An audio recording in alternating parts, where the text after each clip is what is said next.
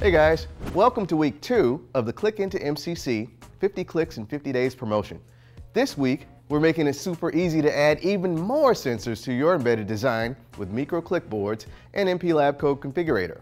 Focus clickboards for this week include Gyro Click, Hydrogen Click, HDC 1000 Click, the Heart Rate Click, LPG Click, Methane Click, Noise Click, Ozone Click, and Weather Click. Come check them all out at microchip.com slash clickintomcc. We invite you to check in every week for more clicks, tutorial videos, and our live Q&A sessions, where you can chat with experts from MikroElektronika and Microchip.